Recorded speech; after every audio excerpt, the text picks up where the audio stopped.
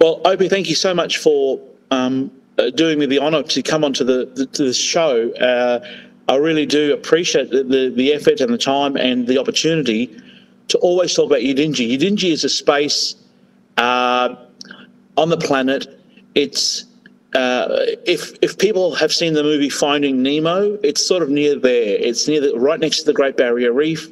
We have world uh, class uh, rainforest. We have um, lots of uh, uh, beautiful uh, nature and resources. Lots of water, for example. we're based in the northern part of what people would call Australia. Uh, and that's way at the top. So if you uh, call it uh, the city of Gimuy, that's the original name for our city, but the foreign description or the Australian description in this case is Cairns, and they would describe it as Queensland. So a lot of tourists, for example, come and visit the Yidindji Territory and uh, they're from all over the place. Uh, people get married here and um, holiday here.